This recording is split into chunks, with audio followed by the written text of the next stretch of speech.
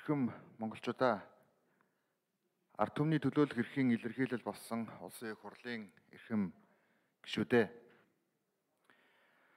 манай засгийн газар байгуулагдсан цагаас Монгол улс зах зээлийн эдийн засаг шилжлэн 30 жилийн нийгэм эдийн засгийн явцад бүхэлд нь үнэлэлт дүгнэлт өгч шинэ 30 жилийн эхлэлийг зөв тавих суур реформын шинжтэй асуудалд үндсэн анхаарлаа хандуусаар ирлээ.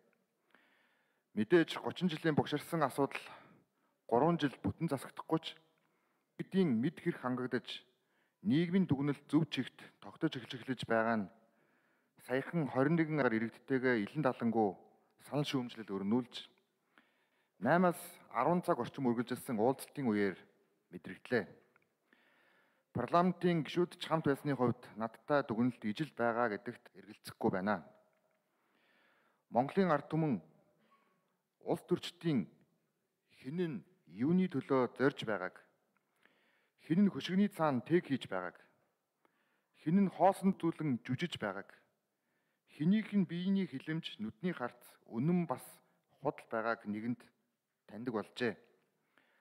Ард иргэд өнөө маргаашийн асуудлаас илүү улс орны ирээдүйн тухай шудраг нийгмийг цогцлон бүрдүүлэх тухай хүмүүрт хууль тэгш үйлчлэх тухай өнгөрсөн алдааг заслруулж буруутай этгээдүүдэд хариуцлага тооцох тухай илүүтэй ярьлаа. Ард иргэд 30 жилийн өмнө нийгэм солигдож хүмүүг иргэний арчсан нийгэм цогцлоохын төлөө хичээсэн ч эргээд харахад хитгэн хүн баяжсан хууль тэгш үйлчлэлтгүй шудраг бос авилгагдсан үүрэг хариуцлагагүй салан задгаа нийгэм бүрэлдэн бий болсонд сэтгэл зовниж байгаагаа илэрхийллээ иргэд Монголын ард түмний хагас 100 жил бүтээсэн баялагийг өмч хувьчлал нэрийн дор цэнхэр ягаан тасалбараар хитгэн хүн завшсан өнөөдрийн баян ядуу ялгаатай буудал туйлдаа хүрч нийгэм хагаралтаж бие биенээ үзен ядах суур нөхцөлийг бүрдүүлсэн гэж үзэж байна. Ард иргэд олон зуун жил газрын хөрснөө бүрэлдэн бий болсон байгалийн баялагын лицензүүдийг мөн л энгийн иргэдэд хүртээлгүйгээр шудраг бусаар хуваан зэлгэж цаашлаад бүрийг нь засагтай парламенттай шүүхтэн улс төрийн намуудтай нь худалдан авах системийн авилгын тогтолцоо бүрдсэнийг ч том зургаар нь бүрэн ойлгож үүний нэг тод илэрхийлбэл Эрдэнтийн 49% худалдаа авалт байсан гэдгийг мөн хэлж байна. Өнгөрсөн 30 гаруй жилийн нийслэлийн болон байгалийн тусгай хамгаалалттай газруудад хууль бусаар цэцэглэн хөгжсөн Газрын 8-аач тэгш бос нийгмийг бий болгон олон үндсүүдийн нэг салаам өчр мөн гэдгийг нийгэм мөн дүгнэж байна. Нэг үгээр хэлбэл нийгмийн шилжилтийг далимдуулж өмч хувьчлал, эрдэс баялагын лиценз, газрын 8, өнөөдрийн тэгш байдал, баян ядуугийн эрс ялгаа, нийгмийн бухимдлыг суурийн тавьсан гэдэг нийгмийн дүгнэлт нэгэнт боддоор бий болжээ.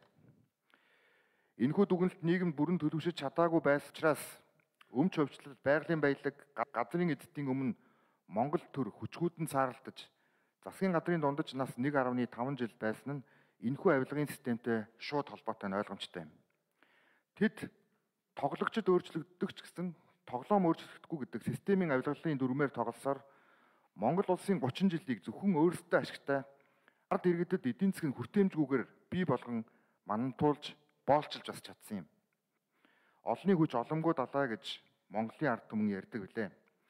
Олон түмний хүч ордны хувилдааныг үргэлж ялсаар ирснийг бууралт өгөх нотолдог. Хэрвээ авилгацсан тогтолцоо хийх энэхүү тэмцэл үр дүнд хүрч эдийн засгийн хүртээмж нэмэгдэж дунд дундаж давхаргад хэлэхгүй бол нийгэм өөрөө өөрийгөө засах өөрчлөлт рүү ороход нийгмийн сэтгэл зүй бүрэлдэн биесэнд авилгын энэхүү тэмцлийг сааруулж бүлэглэлийн гар хөл болсон шат шатны хуулзнуудад тэдний цаана байгаа эдд нь бодит дүгнэлт хийгээсэй гэж хичээнгүлэн хүсэж байна. Улсын хурлын дарга эрхэм гишүүдээ шин сэргэлтийн бодлого дээр хэрэгжиж авилгатай хийх тэмцэл эрчимцснэр эдийн засгийн тоон үзүүлэлтүүд өдөр өдрөөр сайжирсаар байна. 2021 оны төсвийн жил цар тахлыг даван туулахад илүүтэй чиглэгдсэнийг бид бүхэн мэдж байгаа. Тухайн үед эдийн засгийн өсөлт хасах 4.7% байлаа улсын төсөв 20 гаруй тасарч 1992 оноос хойш тулгарч байгаагүй эдийн засгийн сорилттой та бид хамтдаа энэ танхим тулж байсан.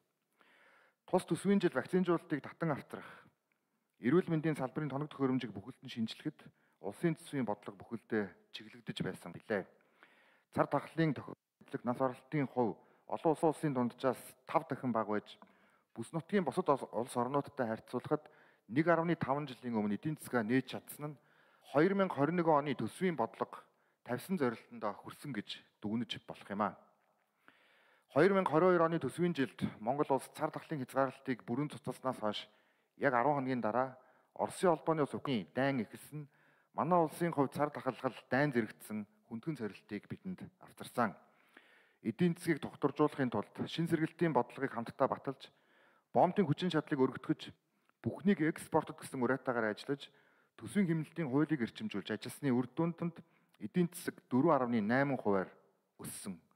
Мөн 2022 оны төсвийн жил оюутлогоон 2.3 тэрбум ам долларын өр тэглэгдэж гүний уурхай ашиглалтанд орж шин дөрвөн төмөр замын бомбын бүтээн байгуулалтын ажил эхэлсэн. 2023 оны төсвийн жил Монгол улс олон улсын олон жилийн хугацаанд бугшсан далд эдийн засгаа ил болгох авилгалын тэмцлийг илүү эрчимжүүлэхэд бүхэлдээ энэ жил чиглэсэн гэж ойлгож байна. 2023 онд дотоодын нийт бүтээгдэхүүн 62.4 их найдад хүрч нэг хүнд ногдох дотоодын нийт бүтээгдэхүүн анх удаа 50000 ам долларт хүрсэн. Төсвийн орлого анх удаа 1.8 их найдаар давж үүн бид нар хамтдаа тодтгол хийж цалин тэтгэвэр тэтгэмжийг нэмэгдүүлэхэд зарцуулсан. Эдийн засгийн өсөлт 6.4% болж хөгжлийн банкны эргэн төлөлт 1.4 их найдыг давж Мазала бондын 500 сая ам доллар Гэргэ бондын 800 сая ам доллар, Чингис бондын 1 тэрбум долларын өрийг бүрэн төлж дуусгасан. Улсын төсөв энэ жил мөн оны эцэст 1.8 орчим их найдаар давж биелэж төлбөрийн тэнцэл анх удаа 530 орчим сая доллараар эрэг гарлаа. Энэ бүхэн бол авилгалтаа хийсэн тэмцлийн шууд үр дүн мөн эдийн засаг эрүүлж байгаагийн бодит илэрхийлэл гэж үзэж байна. Төсвийн жил бүхэнд засгийн газрын бодлогыг дэмжиж ажилласан Улсын их хурлын эрхэм гишүүд та бүхэндээ засгийн газрын нэрийн өмнөөс талархаж байгаагаа илэрхийлье. Бид өнгөрсөн 3 жилийн бодлогын үр дүнд цар тахлыг амжилттай даван тулж, дайны хүнд үед эдийн засгийн өсөлтөд хадгалж, авиргалдаа хийх тэмцлээ эрчимжүүлж, далд эдийн засгийн хөшгийг хуулж, эдийн засгийг хүртээмжтэйгээр төлөх суурь нөхцөлийг бүрдүүллээ. Энэ амжилтанд тулгуурлаж 2024 оны улсын төсөв бол хот ба хөдөөгийн тэнцвэр хөгжлийг дэмжих суурь агуулгатаагаар боловсруулагдан түүхэнд танилцуулагдж байна. 2024 онд эдийн засаг 7%-аар өсч дотоодын нийт бүтээгдэхүүн 74 их найдад хүрч нэг хүнд ногд дотоодын нийт бүтээгдэхүүн 6000 ам долларыг давна гэж төсөөллөө. Улсын хурлын гишүүд зөвхөн тойрогдсон хөрөнгө оруулалт эдийн засгийн хөгжлийн яам, сангийн яам болон олон улсын байгууллагуудын зөвлөмжөд үндэслэн шин сэргэлтийн бодлогын хөдөөгийн сэргэлтийг дэмжсэн 5 тойрог багц дид бүтцийн төслийг эхлүүлж байгаа нь 2024 оны төсвийн жилийн гол онцлог гэж үзэж байна. Мянганы замын их бүтээн байгуулалтын ажлыг монголчууд бид 23 жилийн дараа бүрэн хэрэгжүүлж дуусгаж чадлаа. Энэ бүтээн байгуулалтын ажлыг эхлүүлсэн намрын инх хоёрын засгийн газар болон үргэлжлүүлсэн ерөнхий засгийн газар бүхэнд оролцсон бүх хүн чин сэтгэлийн талархал илэрхийлье. Мянганы зам бол мянгуужингийн үлгэр биш харин 7000 гаруй үргэлжилсэн бодит бүтээн байгуулалт болсон гэдгийг энэхүү төслийг бүрэн дуусгаж байгаа засгийн газрын тэргүүний хувьд онцлон тэмдэглэж хэлхийг хүсэж байна. Мянганы замын дараагийн том алхам бол хөдөг сэргэх 5 тойрог зам юм. Энэ нь аймгийн төвүүдийг хооронд нь мөн холбогдсон аймгийн төвүүдийг хөлийн бомтуудтай холбох төсөл гэж ойлгож болно. Энэ төслийн хүрээнд 2024 онд 1300 гаруй километр авто замын төслийг шинээр эхлүүлэх болно. Хөдөөгийн сэргэлтийг дэмжсэн орон сууцчлалт, төрийн албан агчдын урамшууллын систем, хотын шинэ эрх зүйн орчин, тойрог хурдны зам зэрэг цогц асуудлуудыг хот хөдөөгийн тэнцвэр төгжлийг хангах 2024 оны улсын төсөвт тусгалаа. Дэлгэрэнгүй асуултуудад сангад болон ажлын хэсэг хариулт өгөх учир үгээ ингээд төвчлээ анхаарал тавьсан та бүхэнд баярлалаа.